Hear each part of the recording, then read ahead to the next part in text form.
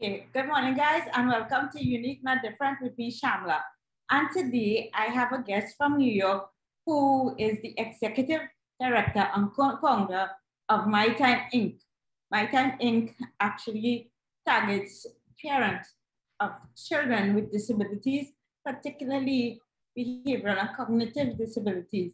And it is an honor to have Ms. Mrs. Lucina Clarke here to talk about her work in terms of her organization and what she does and how, how it impacts parents with children with disabilities. So hi, good morning, and thank you for joining Unique and Different. How are you doing?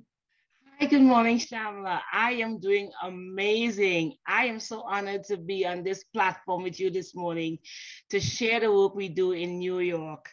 Um, first of all, my name is Lucina Clarke. I am the co-founder with my husband, Wayne Clarke, of this unique and amazing organization called My Time Inc.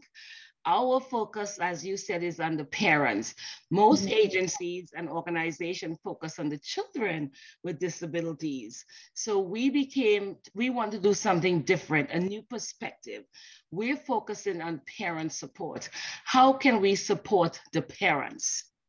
You know, and, and, like what what what um why what inspired you to to to, to you know focus on the parents and create this um, organization? Well, um, as an educator, I've taught for about 25 years. As an educator, working in the homes of the families really inspired me. There was one parent who I was working with, and I fell in love with her and her family. And one day I went to work. I mean, she was not really well for a while. You know, the struggles, the challenges of finding services for her son was really, really difficult. And then she became very ill. And one day I got there and she wasn't feeling well. And she said, Lucina, you know, I'm not feeling good today. you know, go back home. You know, you don't have to do the service today. It's okay. I'll give you a call. But something was not feeling right that day with her. Mm-hmm. I left. And when I got home, you know, I get very emotional about this. When I got home, I got a phone call that she passed away. Wow. And when she passed away, it really affected me. I told my husband, look, I need to create something. We need to create something for our families because the stress and the challenges, the frustrations that the parents, the families go through, sometimes it's fall on deaf ear. So I told my husband, I we decided to use our basement once a month we invited families over. I love to cook, I love to entertain.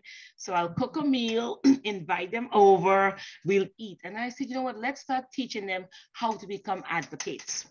And by doing that, some parents learned different skills, advocating, understanding their child's disability so they can be out there to get the appropriate services.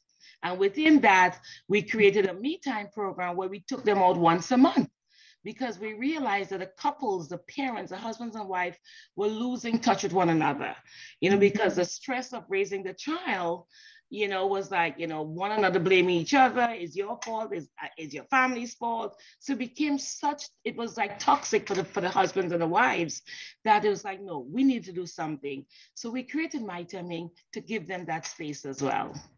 And I, I know that you have roots in Trinidad and Tobago, right? Yeah. And obviously in Europe, there's a lot of, I guess, Trinities, as they would say, or, you know, person from the Caribbean living in New York. So is there any form of collaboration to, in terms of bridging that gap between a geographical gap to see how you can, I guess, infiltrate into Trinidad and help these parents with um, who has children with disabilities well, I was so blessed. You know, I've been I've been in contact with the Autism Society, Miss Ryan and Miss Amy, it's Miss Amoy Budu.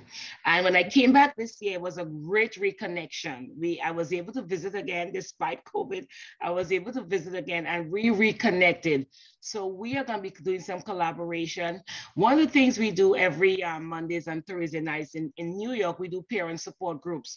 We do game night. We do such fun activities. We do activities to build the parents' confidence. We do emotional wellness to give them that build, that confidence, that support they need. So we're going to be starting doing a connection once a month or twice a month connecting with the group in Trinidad to have parent support and have some fun night.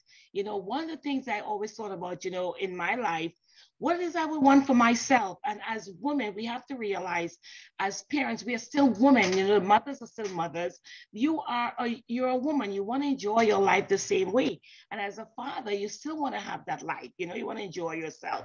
So by having this collaboration, they can see also, not because we're in New York, we get all the services we need. There is still a struggle. There's still a challenge for your child to get the appropriate services. So I cannot wait for us to do this collaboration, for connecting. I am so excited to sit with Amoy and Ms. Sunarine and see how we can help to bridge that gap, to have some form of collaboration. You know, when I came the last time, I was already bothering, you know, conversing some of my friends to sponsor. You know, they have a summer program that we can at least sponsor in some way. I mean, 100 US um, can help with their summer program. So I'm looking forward to doing that as well. So collaboration ah, is my thing. What and can you quickly, quickly tell us what is your ultimate goal in terms of, you know, My Time Inc. What what would you like to see, let's say, in the next five years? Oh well, we just recently got our own our own space. We have a new location in New York what I see for us is seeing our women, our parents being empowered, you know, which took me to a different level of making sure our parents have a space that they can come and feel safe. They have a yeah. place they don't feel ostracized. They know they're not alone. You know, one of the things from being with these women allowed me to create a journal for these women also, something called the divas that allowed them to see that they are valued. Most of the times we women feel, you know what, we are not valued, you know what, we should have this, we shouldn't have that. But being in a space that they know that they are empowered, they can do what they can do and still be that mother, be that woman that they want to be. That's right. the value. Taking My Time Inc to a different level of empowering these women to be the best they can be. You know, be unapologetically saying yes to themselves, that they are important and they are worthy. And they can be as tireless as they, they can be who they can be, loving themselves and being worthy and being in that role of a mother. And yeah. it's okay. Awesome. And how can persons reach you if they want to you know, join or collaborate to even sponsor? Well, they can find us at www.mytimeinc.org. Our phone number is in New York, 718 975 0296. Or you can email us at info at mytimeinc.org. I know, uh, you know, Facebook, you can Facebook us, you get on Facebook, you can see mytimeinc.org, or you can go to MTI Parent Support. It's it's an amazing you know our organization is so unique. The things we do to our parents go to our website www.mytimeinc.org and see the work we're doing with the parents. To see the before when when we began and this year is 15 years we're celebrating and we're so excited. You know yeah. we're excited to see the growth of the families. This is lucina clarke um really the work that you're doing is incredible um especially that knowing that you, you want to go beyond a geographic and just target your home country, your native country. Um, thank you so much. And it is really inspiring, especially knowing that you don't have a child with a disability, but you know, through your experience, you were inspired to do what you do and keep motivated in doing what you do. So thank you so much for doing what you do. And I wish you all the best. And maybe you can come back and share some incredible stories to your organization. So thank you so much again.